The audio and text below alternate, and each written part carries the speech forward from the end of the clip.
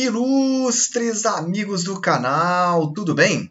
A inflação chegou e parece que não vai embora tão cedo.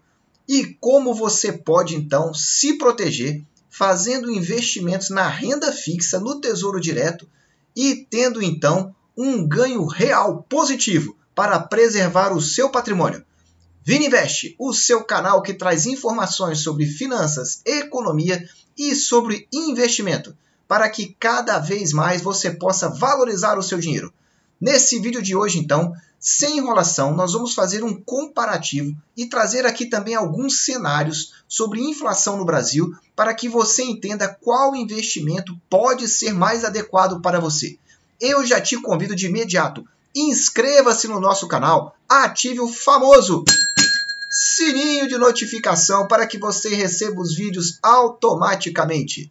Vamos começar sem enrolação, trazendo aqui algumas informações sobre inflação para que você entenda qual pode ser a situação. Eu fiz um levantamento aqui da inflação pelo IPCA nos últimos anos, desde o ano de 95 até 2020.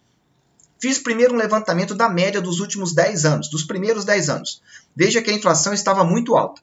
Depois, com a estabilização do plano real, nós tivemos uma queda da inflação. A inflação média de 2005 a 2014 caiu para 5,4. E veja que nos anos seguintes também ficou, ou seja, de 2015 a 2020, permaneceu bem próximo desse valor. Aqui eu tenho a inflação de cada um desses anos, desses períodos todos. Muito bem, feito também esse levantamento de 10 anos, eu fiz uma projeção também, aliás, consultei um histórico, sobre a inflação a cada 5 anos. Veja que de 95 a 2000 ela estava bem alta, 8,96. Depois de 2001 a 2005 já houve uma queda, caiu para 8,5. Depois de 2006 a 2010 chegamos a 4,7. Depois, no período conturbado no Brasil de 2011 a 2015, subiu para 7%. E já nos últimos cinco anos, de 16 a 2020, ela fechou então aí em 4,36. O que eu quero dizer para você com isso? Que para nós podermos fazer as nossas projeções, nós vamos utilizar aqui um cenário de inflação baseado nesse histórico. E que se você quiser alterar os dados, basta que você então pegue uma dessas médias para que você tenha então uma noção de inflação no país. Mas ela está variando aí, vamos pegar os últimos anos, algo em torno aí de 5,41% aproximadamente nos últimos anos. Eu acho que esse é o dado que nós podemos utilizar, uma inflação de 5,5 aproximadamente. Muito bem. Quando nós olhamos então para os títulos vinculados ao IPCA, que são os títulos relativos à inflação, à proteção da inflação, você vai verificar no Tesouro Direto que nos últimos 30 dias todos os títulos estão negativos. O que, que isso significa? Se você comprou um título há menos de 30 dias e tentou vender esse título, ou vendeu, você teve prejuízo. Se foi em relação ao mês anterior, você teve um prejuízo ainda maior. Repare que quanto maior o título, por exemplo, 2045, títulos que vencem em 2045, eles variam mais, então o prejuízo seria maior. Quanto menor o prazo, por exemplo, 2026, seria menor. Mas isso também vale quando nós abrimos um prazo maior. Se colocamos 12 meses, veja que o IPCA 2026 está dando 9,63 positivo, enquanto que o 2045 estaria dando 20%. Ou seja, quanto maior o prazo, maior a expectativa, tanto de lucro quanto de prejuízo. Essa volatilidade sempre vai existir. Quanto aos IPCAs semestrais, você pode verificar também a mesma relação. Então veja, 2055, 11,53. 2024 em 12 meses, 8,85. Agora vamos então para o prejuízo então no ano, no ano de 2021. O 2055 menos 9 e o 2024 menos 1,73. Então entenda você que investe em títulos longos para um período bem longo, você já sabe que existe um risco muito maior, caso você não queira levar ele até o vencimento. Mas se você está comprando um título lá para frente e você vai levá-lo até o vencimento, você não deve se preocupar. Dito isso, então, vamos direto para a avaliação de cenário para que você entenda então o que está acontecendo. Se você já está com alguma dúvida, coloque aí nos comentários que nós vamos responder. E se você gostou também das informações, ajude aí o nosso canal. Trazendo então as informações agora para a planilha para que você entenda melhor. O que, que seria um tesouro pré-fixado? Qual a vantagem dele? Um tesouro IPCA sem juros semestral e um com juros semestral. Então vamos lá, um tesouro pré-fixado 2026. Qual é a vantagem dele? Você sabe exatamente o percentual que você vai receber.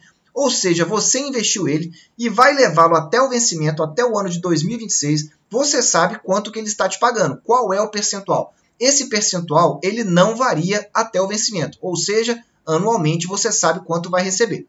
Mas qual é a desvantagem dele? É a inflação ficar acima do previsto inicialmente. A inflação hoje está sendo prevista algo em torno de 5%.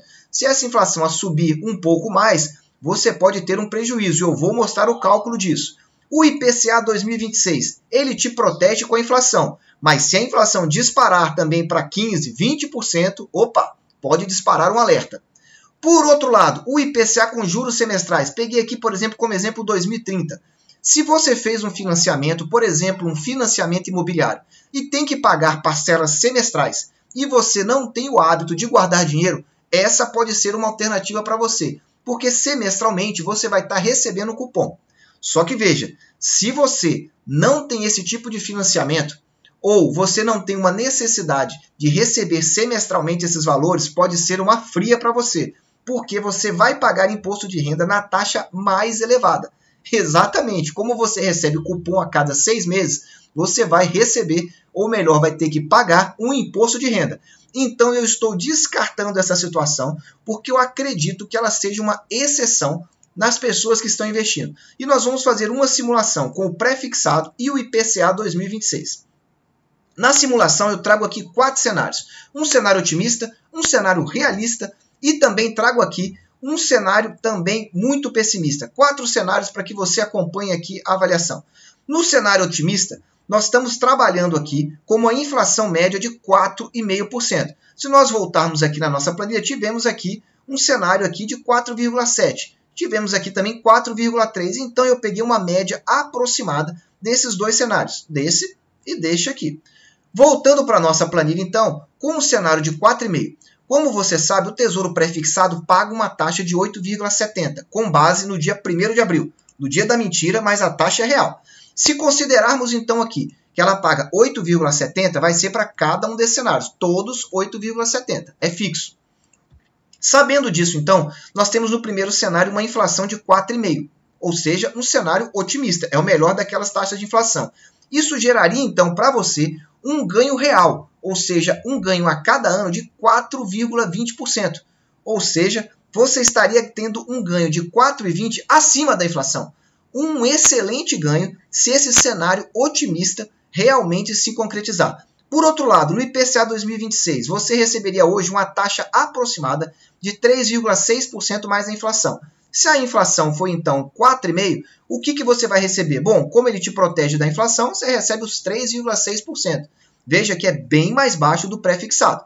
Então, no cenário otimista, o pré-fixado está ganhando com facilidade. No cenário realista, o que é o cenário realista? Uma inflação histórica de 5,5%. Voltando aqui para a nossa planilha, é esse cenário que nós estamos pegando. Estamos aproximando para 5,5% para facilitar aqui o entendimento.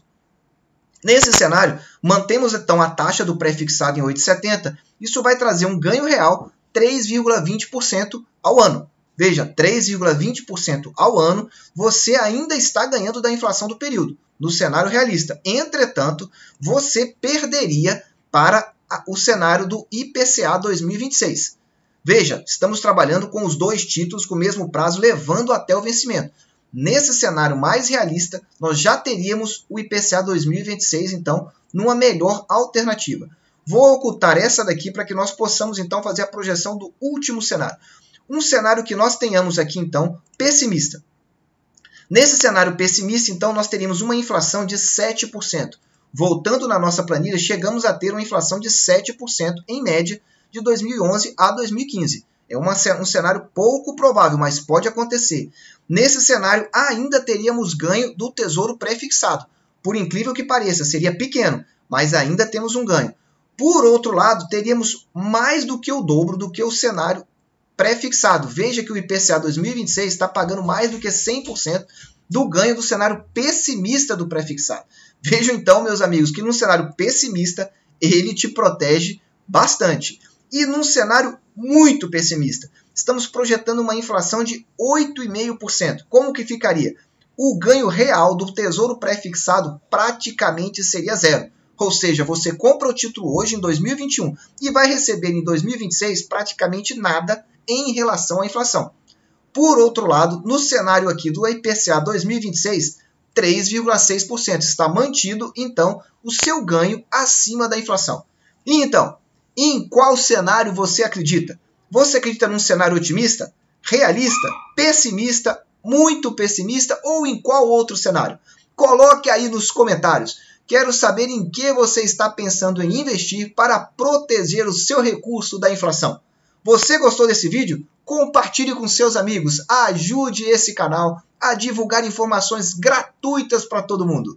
Desejo sempre que você esteja na presença de Deus, ainda mais agora, nesse período de Páscoa. Que Deus esteja na sua vida. Desejo que você aproveite esse momento com a sua família e que cada vez mais entenda como proteger o seu dinheiro da inflação. Um abraço e até o nosso próximo vídeo.